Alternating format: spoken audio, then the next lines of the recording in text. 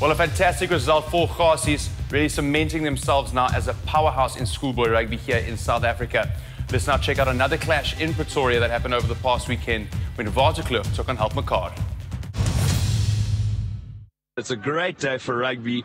Warm day on the Highveld, and I'm joined by Jandre Lindekie, who's with me today and will be helping me to run through the proceedings. Jandre, pleasure to have you here. Thanks, Anton. Yeah, really looking forward to it. Well, Waterkloof choosing to run it. It's a great run there, bit of forward play. Bashed up, great cleaning out, but penalty for looked like diving over. Well, I mean, it's right in front of the poles. Wouldn't be surprised if we see Helpmekaar going for the three points here. So it's a sort of a great way to start for them. The quiet descends upon the Waterkloof Stadium. Could be shock at seeing a prop kicking. and he puts it through. Well, Jandre, when last did you see a forward, let alone a prop, um, getting points? For a while, reminiscent somewhat of John Eales, who used to take the kicks for Australia. John Eales, of course, being the captain. Quick thrown by Van but it goes over the top of the fingers of Helpmekaar and uh, now with the ball pushing forward, counter-attacking quickly. Pe- Peterson sends it out. It's in the hands of Milan. Oh, and that is a brilliant try there. Is it? That is a try. I looked like Gunter, the number 13. Well, brilliant break, must, said, must be said by Milan.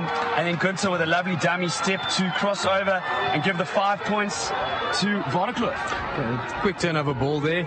And uh, Waterkloof boys moving it through the hands very nicely. Um, and they didn't kill each other's space by running to the sideline. They, they kept in their channel. They kept stepped out of the, uh, outside their man and then uh, went straight at it.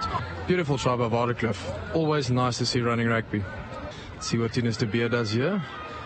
Over it goes. Fantastic kick by Tinus de Beer. Well, what a brilliant kick there by De Beer, taking Waterkloof to a 7-3 lead. Now out to De Beer. He clears, but in, in field, into the hands of Hartman. Goes on a strong run, but well tackled there by Waterkloof.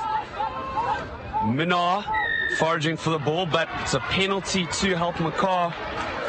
The last forward that I can remember was uh, John Eales. Yeah. And he was a lock. Oh, Oh, sails it through. the G-man. G man makes it look easy. And I have to say, Helpmekaar, great turnout from the school, packed the stand. Well, it must be said, Helpmekaar looking dangerous. They're keeping their composure. While the ball sent in, regained by Helpmekaar, and a little ruckus set up on the line. Strong drive forwards. And try to Helpmekaar. Can't quite see who the try It's the big man. I think it's G-man, the big guy. Jihad Fasahi scores a try. Oof. May have been a turnover, and it is indeed a turnover. Helpmekaar now with the ball. A lot of space at the back. Simon there with a nice little step. Oh, he's tackled though by a swarm of Waterkloof players. Runs onto that somewhat hard looking cricket pitch. I can tell you midwinter is quite dry and hard out there. Ball goes out there to Quacha, sends it to a big forward outside them. It's a big man, Frank Francis. But oh, accidental offsides. And that's, well, that's half time. That's off time. Help Mekaar, I'm sure, will be very happy with that lead that they've got. 18 points up in the first half. Laas jaar het ons teen hulle gespeel en net net verloor met 2 punte. So hierdie jaar het ons besluit ons gaan hulle kom trap. Ja, wat uh help mekaar is 'n baie kleiner skool as wat Waterkloof is en dit lyk nie vir my of julle manne terug staan 1 cm terug staan vir die Waterkloof manne nie. Nee, ehm um, ons klein skooltjie, ons het hierdie jaar ook met die atletiek goed gedoen teen Waterkloof. Hulle gewen. So ehm um, die passie en die hart is daar en ek dink dit is wat die verskil is tussen ons en ander skole. Ja. Waterkloof still with the ball piling in, but just get it goes to Mikau. Oh, it's a good run through him, by the way, and the offload. Oh, it's a good. And now to De. Great offload by him. Sends it to the lock who sends it wide to the wing. Lindeke. Lindeke, the captain, steps inside. Just what Waterkloof need. Five points beneath the poles. Now the first time that Waterkloof was able to breach the first line of defense from Helpmekaar. And then things came together and they were able to uh, to score a nice try. Um, they'll have to capitalize on each opportunity that they get uh, when they break the line because the Helpmekaar boys' defense looks quite uh, rock solid so far. Well, very exciting rugby being played there, must be said. Versace throws it in, and oh, throwing's not really been that good. It's in the hands of a Waterkloof player, and it looks like looks like it was Snyman, the vice captain number eight, who scores. Well, he'll be very happy with that. Helpmekaar sal moet planne beraam om om dit te kom. Hulle het vir hulle Magic Man, the G-Man tot nou om ingooi te doen met die lyn staan soos jy sê. Ehm um, maar hulle sal hierdie eerste fasette, eerste fase fasette hulle van hulle onder beheer moet kry anders gaan hulle gaan hulle in die moeilikheid wees vandag.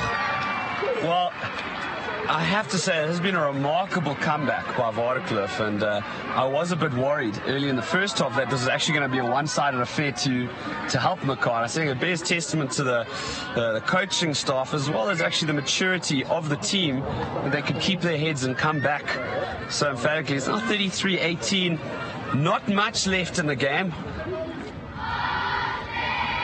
Well, Helpmekaar feed the scrum, sends it out to Quacha. He lets loose on a nice wide. Great pass to Simon. Right, found brilliantly found space, and now it's Hendricks. Should let it go, sorry, excuse me, now. Hendricks was the one who was supposed to be the recipient of that pass, I believe, but just didn't. Unfortunately, that last pass didn't work out, and it could have been a try.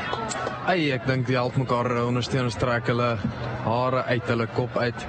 Um baie belovende beweging aan die regterkant van die veld daar gewees. Uh net eenvoudige basiese hande aangee en uh dit was definitief 'n drie vir help mekaar.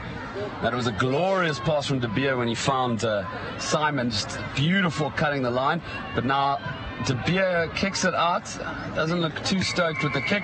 And that is the match.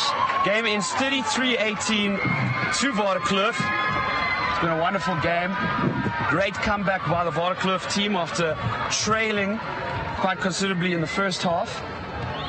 And I'm sure you see the players congratulate each other. They'll be very happy uh, from the Waterkloof side. Will be very happy, but I think Helpy certainly can take a lot from this match. Ja, wel, denk het nogal wat aangegaan in de eerste helft. Maar wat is veel gezien hoi, in die kleedkamer dat jullie mannen zo uitgekomen uit in de tweede helft? Dat was maar een paar harde woorden geweest. Coach is nog van een beetje wakker te skrik, maar basis maar niet om te houden ons gameplan, mekaar te vertrouwen en te houden die basisse goeders en dit het gewerkt op jou einde. Kyk, oor die algemene, oor die algemene spel was dit 'n verlies geweest, maar by sy scrums en sy ingooi by die lyn staan was dit net uh, ons lyn staan net ook glad nie gewerk vandag hier so ons moes maar 'n keuse gemaak het en ons coach het die keuse gemaak om hom af te haal dat ons kyk of ons lyn staan kan regkom. A fantastic performance there by Help McCall. Really good looking side this year, but in the end, Waterkloof looking to be a bit too strong. Don't go anywhere because after the break, we take a closer look at the Ajax Cape Town Academy.